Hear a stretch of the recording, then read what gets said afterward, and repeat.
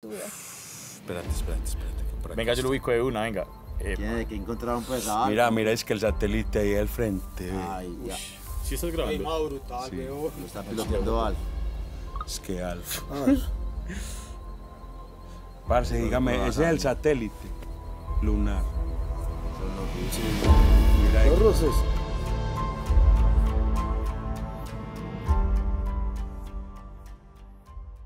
Amigos, sabéis que podéis enviarme vuestros casos a través del correo info arroba verdadoculta.org o a través de Facebook, que puedo hacerlo mucho más cómodo, el chat es mucho más rápido y obviamente por comentarios también voy revisando y leyendo, ¿de acuerdo? Tenemos este caso que me ha parecido sorprendente y me gustaría saber qué opináis. Mirad la grabación y decidme ya, ¿qué opináis de esto? ¿Qué demonios puede ser eso, de acuerdo? Bueno, el correo que me han enviado es de Jorge Páez. Y dice así, saludos amigo, te escribo porque te sigo por el canal de Verdad Oculta, muchísimas gracias Jorge, desde la ciudad de Medellín, en el departamento de Antioquía, Colombia, desde hace algún tiempo. Me gusta mucho tu contenido o tu trabajo como investigador y querría enviarte este vídeo para ver si nos puedes ayudar a descubrir qué puede ser. A principios de este mes, mis amigos filmaron algo extraño pasando a través de la luna. Ellos compraron un telescopio con el cual observan la luna de forma habitual. Pero la semana pasada captaron algo muy inusual. Lo captado fue filmado mediante el ocular de un telescopio de 114 milímetros de apertura por medio de un celular de referencia a Moto G22 en el corregimiento de San Cristóbal cerca de la ciudad de Medellín. Desconocemos qué puede ser, Hemos preguntado a varias personas, entre ellas un astrónomo, pero no nos convencen sus respuestas. Y seguimos sin saber qué fue lo que mis amigos pudieron grabar esa noche. Lo que está claro que es impresionante. ¿De acuerdo? O sea, es algo maravilloso. Cuando lo he visto eh, me he quedado flipando porque he dicho, wow, ojalá sea lo que, lo que creo que puede ser, ¿no? Pero mi gozo en un pozo. Tiene una explicación mucho más racional. Está claro que es complicado, porque la luna tiene cierta altitud, como al menos de donde yo vivo. Pero es cierto que en algunas ocasiones parece ser que no está tan elevado. Y si hubiera algún tipo de edificación, en este caso una antena, podría llegar a solapar la imagen y ver en la amplitud aumentando, sin iluminación, como si algo estuviera pasando por delante, cuando realmente lo que estamos haciendo es grabar a través de esa antena la luna. Y si os fijáis, aquí tenemos las famosas torres del padre Amaya, en las cercanías de la grabación. Obviamente aquí se ve muy magnificado, observad la luna que grande se ve, en este caso imaginaros que la luna se ve mucho más pequeña, y estamos observando esta zona de aquí. Pero aún así he tenido mis dudas, ¿de acuerdo? Es una de las antenas, no hay muchas imágenes de calidad, pero os he encontrado una que os sacarán de dudas. Fijaros qué maravilla y qué estructura, esto lo puedo ampliar, ¿de acuerdo? Y tenemos esta, esta forma, ¿no? Y a ver si os parece la respuesta correcta. Ahora bien, si nos fijamos, tiene mucha similitud, pero no me cuadra la luna y la posición de esta antena de momento. Pero si selecciono lo que podemos observar, por, por la iluminación de la luz, es de noche y la luna está ejerciendo una luz, ¿de acuerdo? Lo engancho, le doy la vuelta, fijaros, y lo coloco en esta parte, nos está, voy a ampliar esto ahora, nos está cuadrando muy bien la sección, voy a cerrar esto ya, la sección inferior, fijaros, voy a sacar, voy a doblar un poquito, ¿lo veis? Digamos la junta, porque lo que viene siendo que es una antena, digamos que es como una pirámide, más ancha la parte inferior y más estrecha, en cambio estaría invertido. ¿Qué quiere decir? Pues que lo más seguro, la, la posición que se colocó el móvil tuvo que grabar o se ha girado la grabación porque la antena, la posición sería hasta de aquí. Entonces, lo que estamos viendo no es un satélite como se rumorea en la grabación, que ojalá fuera una nave y bien grabado porque me volvería loco y sería lo más bonito que he llegado a ver de momento, ¿no? Con esa textura, esa nitidad. Lo que estamos observando es, en este plano, imaginaros, os saco esto y os voy a simular la luna de color... Blanco no, verde, va, una luna verde. Y que estaría aproximadamente así, en la parte de atrás de la anomalía. Algo parecido a esto, ¿vale? Estaremos grabando justamente esto. Es más, si os fijáis en la grabación se ve un punto de iluminación, que posiblemente ese punto de iluminación sea la parte superior de la antena, que suelen tener un punto de iluminación. Así que misterio resuelto. Vayamos a por el siguiente. Amigos, por favor, prestad mucha atención y compartir el vídeo, para que la gente lo sepa. No os dejéis estafar. Utilizan mi nombre, mi foto, mi cara. Se crean perfiles falsos. Ponen verdad oculta de 18.000 maneras. Para intentar pasar desapercibidos. Os escriben personalmente. Os contestan en mis comentarios. O sea, es enfermizo, ¿vale? Son mafias. Y cuando les petamos un canal, pues se crean otro. Y así, porque las estafas, esto está eh, a la orden del día, ¿de acuerdo? O sea, no caigáis.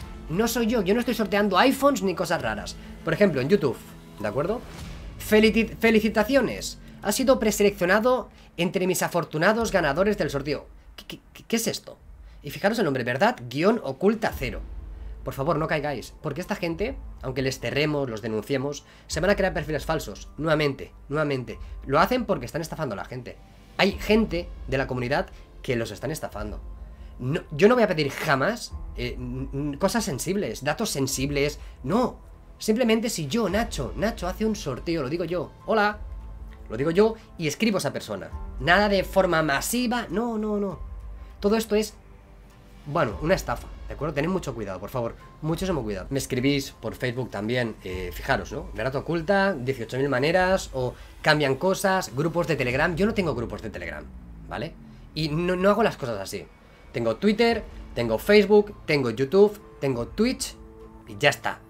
¿De acuerdo? Y ya está. Y poco a poco voy incorporando las cosas porque hay que controlar todo esto, ¿vale?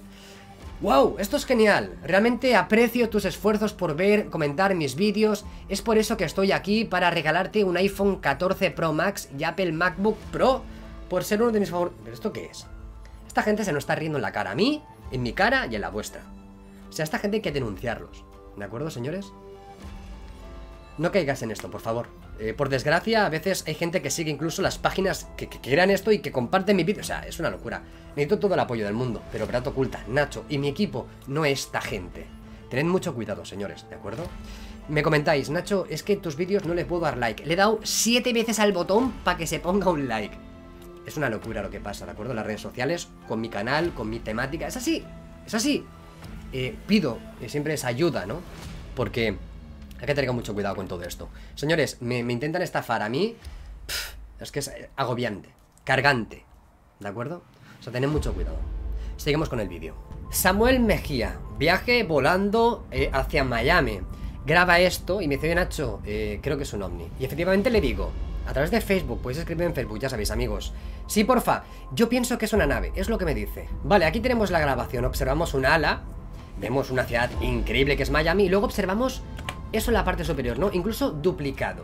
A ver, señores, lo más importante, es muy interesante, pero si nos fijamos cómo avanza la grabación, ¿Ves cómo está ya haciendo como un reflejo? Se está observando como que estamos grabando a través del cristal que tiene estos plásticos. No sé si es plástico o metraquilato, ya sabes que el cristal de, un avión no se va a tocar. Es decir, eso, señores, eh, es muy peligroso, ya sabéis que está protegido.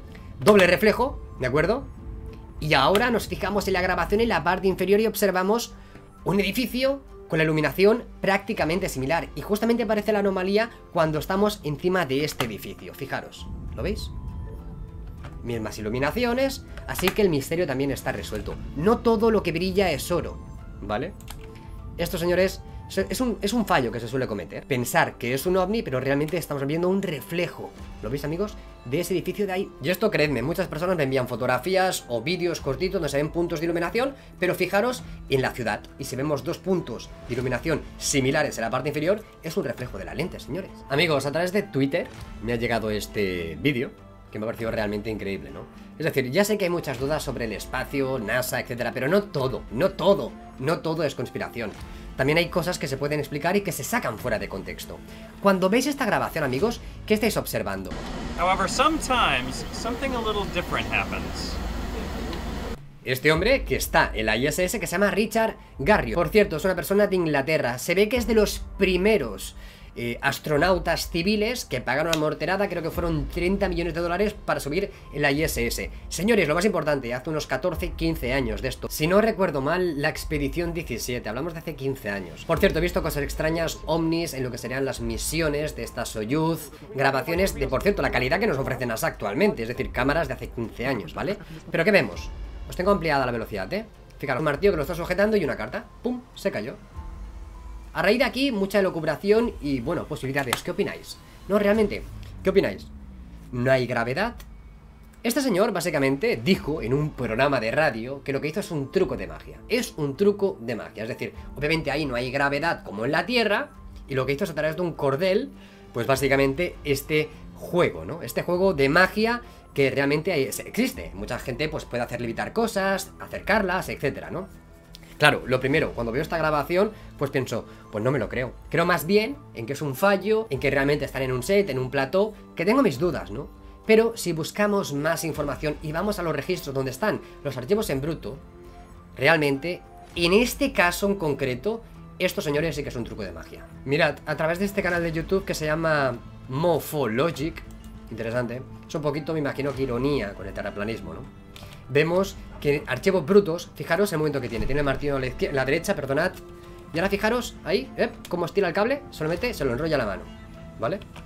Lo repite varias veces, fijaros, es decir, tiene algún tipo de sistema, bien sea algún tipo de cuerda muy finita, transparente, hilo de pescar, aún más fino. Es decir, esto me imagino que será algún truco de magia, ¿no? Porque yo creo que aunque, aunque no se ve muy bien en esta grabación, en las otras sí, eh, se vería un pequeño hilito, etc. Entonces, señores, al principio he dudado y he pensado, oye, eh, creo que en verdad eh, es un error suyo, del croma, ya sabéis, ¿no? Pero viendo estas evidencias, parece ser que efectivamente ahí está un truco de magia. ¿vale?